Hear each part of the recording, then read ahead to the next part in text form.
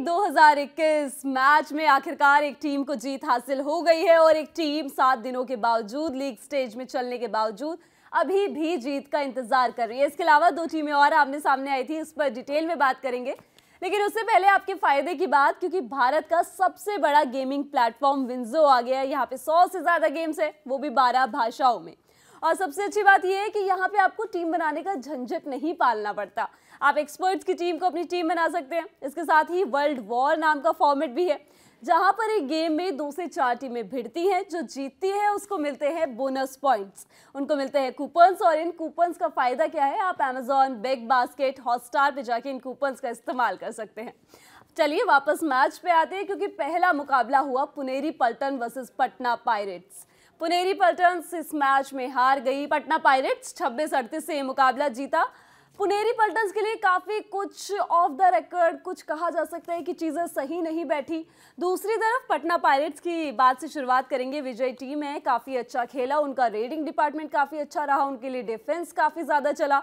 एक खामी जो रहेगी, वो मोनू गोयत की रहेगी, क्योंकि इनसे काफ़ी उम्मीदें की जाती है। बीते कुछ मैचेस में, बीते दो मैचेस में अच्छा किया है इस टीम के लिए, लेकिन जब आज उतरे तो रेडिंग्स में इतना ज़्यादा पॉइंट कमा नहीं पाए, लेकिन डिफेंस में टीम के लिए दो टैकल पॉइंट ज़रूर निकाले। रेट की बात की जाए तो एक रेट पॉइंट निकाला और उस रेट पॉइंट में तीन एक्स्ट्रा पॉइंट्स भी निकाले थे, क्योंकि वो जो उनकी रेड थी ना, वो थोड़ा पैर आउटर लाइन पे चला गया और उनके साथ तीन डिफेंडर्स भी उस रेड में शामिल हो गए और ये एक्स्ट्रा पॉइंट्स उनको मिल गया। एक लकी रेड उनके लिए रही। लेकिन इसके अलावा अगर बाकी प्लेयर्स की बात की जाए तो सचिन के लिए ये दिन काफ़ी अच्छा रहा। सुपर टेन उन्होंने अपना निकाला, इसके साथ प्रशांत कुमार राय। पाँच रेड पॉइंट्स उनके खाते में गए। डिफेंस की बात की जाए तो सुनील के नाम चार पॉइंट्स रहे साजिन ने तीन पॉइंट्स निकाले और मोहम्मद रिजा तीन टैकल पॉइंट्स इनके नाम रहे। इस टीम में अगर आप एक मोनू गोयत को साइड कर दिया जाए तो बाकी सारे प्लेयर्स का ओवरऑल परफॉर्मेंस रहा। इस टीम परफॉर्मेंस रहा जिससे ये जीत हासिल हुई है।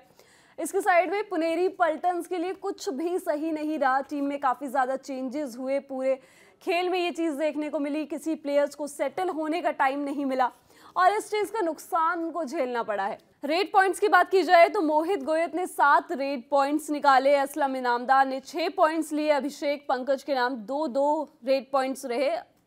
अगर आप चार्ट उठा के देखेंगे तो इतना ज़्यादा अच्छा दिखता नहीं है। और डिफेंस की बात की जाए तो सोमवीर के नाम तीन टैकल पॉइंट्स रहे। विशाल भारद्वाज के नाम सिर्फ़ एक टैकल पॉइंट ओवरऑल चौदह रेड पॉइंट्स निकाले हैं। दस टैकल पॉइंट्स निकाले, लेकिन रेड में कहीं ना कहीं कमी दिखी है। और जो 10 टैकल पॉइंट्स आए हैं, उसमें भी क्रेडिट जो जाएगा, वो रेडर्स को जाएगा, क्योंकि उन्होंने, उनकी वजह से ही टैकल पॉइंट्स निकले हैं। सिर्फ़ तीन प्योर डिफेंडर सोमवीर ने निकाले हैं और एक विशाल भारद्वाज ने निकाला था। अब ये ऊपर ऊपर की बात हो गई इस मैच की, अब इन डिटेल बात की जाए तो ऐसा कहा जा सकता है कि पुनेरी पल्टन ने कई बार इस मैच में वापसी करने की कोशिश की थी, ऐसा करने में कामयाब भी हुई थी, जब पहला हाफ़ चल रहा था। तो पटना पायरेट्स पुनेरी पल्टन्स को ऑल आउट करने से चूक गई और इसका फ़ायदा पुनेरी पल्टन ने उठाया। फ़र्स्ट हाफ़ तक मुकाबला एकदम चौदह चौदह पे बराबर करके चला। लेकिन जब सेकंड हाफ़ शुरू हुआ तो पटना पायरेट फिर से पुनेरी पल्टन पे हावी हुआ। और इस बार मुकाबला जो है, वो 15 से 22 के मार्जिन तक पटना पायरेट्स लेके चली गई। इसके बाद एक छोटा सा कम पुनेरी पल्टन की तरफ़ से फिर से दिखाई दिया। इस बार टीम ने पाँच कॉन्टिन्यूस पॉइंट्स निकाले। लेकिन उसके बाद फिर ये ऊपर नीचे वाला खेल चलता रहा और पटना पायरेट्स ने एंड में आके बाजी मार ली। अपने नाम कर ली, छब्बीस अड़तीस से ये मुकाबला किया। डुओ डाई सबसे ज़्यादा नज़रें इसी पर रही क्योंकि रेडर्स जो थे वो बच रहे थे पॉइंट्स लाने से और डुओ डाई रेड में जा रहे थे। टैकल के ज़रिए पॉइंट्स कमाने की कोशिश की जा रही थी। इसके अलावा सेकेंड हाफ़ में ही पुनेरी पल्टन्स को पटना पायरेट्स ने दो बार ऑल आउट भी किया। पहले में मैंने आपको बताया कि फ़र्स्ट हाफ़ में मिस किया था और पुनेरी के लिए जो थोड़े बहुत प्रॉब्लम्स रही, वो एक टीम एफर्ट रहा और उसके साथ जो कॉन्टीन्यूस प्लेयर्स को चेंज किया गया सेटल नहीं होने दिया, ये एक बहुत बड़ा कंसर्न रहा। इसके बाद दूसरा मुकाबला हुआ Telugu Titans versus Haryana Steelers ये मैच में जाने से पहले ये दोनों टीमें अपने लिए जीत की तलाश कर रही थी। तेलुगु टाइटन्स की बात की जाए तो पहला मुकाबला अपना टाई किया था तमिल थलाईवास के खिलाफ, उसके बाद दूसरा मुकाबला खेला तो उसमें हार आई। इस दूसरी तरफ़ हरियाणा स्टीलर्स की बात की जाए तो उन्होंने दो मुकाबले खेले, दोनों हारे। अब इस मैच में एक टीम को आखिरकार जीत मिलनी थी और वो जीत रही हरियाणा स्टीलर्स के नाम 37 39 से अपना मुकाबला जीता। काफ़ी क्लोज मुकाबला था, दो पॉइंट से ही क्योंकि हरियाणा जीती है। और इस मैच में सबसे ज़्यादा अट्रैक्शन वाला पॉइंट सिद्धार्थ बाहुबली देसाई नहीं थे, बल्कि बोनस पॉइंट्स थे। क्योंकि बोनस पॉइंट्स इतने लिए गए हैं इस मैच में, सत्रह बोनस पॉइंट्स तेलुगु टाइटंस की टीम ने लिए जो सैंतीस पॉइंट्स मिले हैं, उसमें से पूरे सत्रह पॉइंट्स बोनस के ज़रिए आए हैं, जो सिद्धार्थ देसाई ने निकाले हैं, अंकित बेनीवाल ने निकाले हैं, राकेश गोवड़ा ने निकाल के दिए हैं। बोनस के अलावा अगर प्लेयर्स की बात परफॉर्मेंस की बात की जाए तो सिद्धार्थ देसाई एक बड़ा नाम है टीम को अकेले चलाते हैं। पिछले कुछ मैचेस में हमने देखा है, अगर सिद्धार्थ देसाई चले तो तेलुगु टाइटन्स आगे का सास्ता आराम से तय कर सकती है। इस मैच में उन्होंने नौ पॉइंट्स निकाले हैं। जिसमें से चार पॉइंट्स रेड के आए हैं और पाँच पॉइंट्स बोनस से निकाले हैं उन्होंने। अंकित बेनीवाल की बात की जाए तो उनके नाम भी नौ पॉइंट्स रहे, तीन रेडिंग पॉइंट्स और छह बोनस पॉइंट्स उनके नाम रहे। राकेश गोवड़ा की बात की जाए तो सात पॉइंट्स इन्होंने निकाले हैं, एक रेडिंग एक टैकल और पाँच बोनस पॉइंट्स तेलुगु टाइटन्स पूरा बोनस पे खेली है, लेकिन उसके बाद भी जीत से काफ़ी दूर रह गई है। टैकल की बात की जाए तो कुल पाँच पॉइंट्स टैकल के ज़रिए आए हैं, जहाँ पर ये टीम कमज़ोर दिखी। सी अरुण ने दो टैकल पॉइंट्स निकाले, इसके अलावा आदर्श, राकेश, ऋतुराज ने एक एक पॉइंट निकाल के दिया है। ओवरऑल 26 रेड पॉइंट्स निकाले हैं आठ टैकल पॉइंट्स, और इसमें से बोनस भी बहुत सारे हैं। तो आप समझ लीजिए कि अगर आप बोनस पे ही चल रहे हैं, उसके बाद भी इतना क्लोज मुकाबला लेके गए हैं।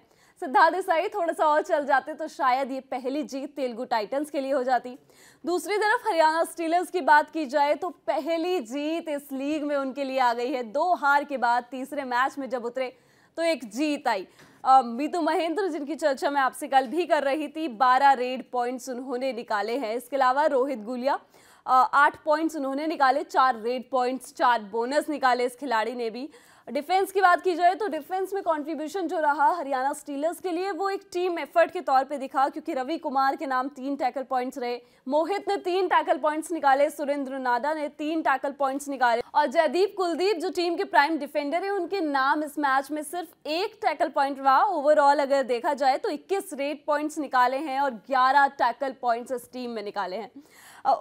पहली जीत हरियाणा स्टीलर्स के लिए और तेलुगु टाइटंस अभी भी जीत का इंतज़ार कर रही है। तो इन दो मैचेस की यही कहानी रही। बाकी मैचेस के लिए आप देखते रहिए क से कबड्डी पीकेएल की पूरी कवरेज दी ललन टॉप पे आपको मिलती रहेगी। इसके साथ ही अगर आपने हमारे नए चैनल ललन टॉप स्पोर्ट्स को सब्सक्राइब नहीं किया है तो उसका लिंक आपको डिस्क्रिप्शन में मिल जाएगा। वहाँ जाकर हमारे नए चैनल को सब्सक्राइब भी कीजिएगा। वहाँ पे आपको कई नई सारी ताज़ा खबरें मिलती रहेंगी, किससे, कहानियाँ मिलते रहेंगे। तो जुड़े रहिए हमारे साथ, देखते रहिए दी ललन टॉप। शुक्रिया।